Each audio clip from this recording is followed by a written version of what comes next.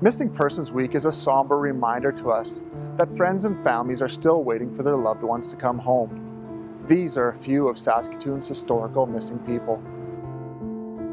William Gill was 23 years of age when he went missing on December 21, 1981.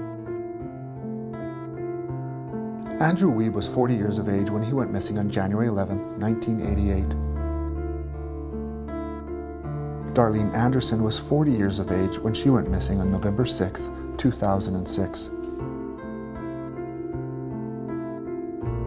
Kenneth Fehr was 51 years of age when he went missing November 27, 2012. Do you know the whereabouts of a missing person? You can anonymously contact us at 1-800-222-8477 or go online to SaskatoonCrimeStoppers.com to leave a web tip.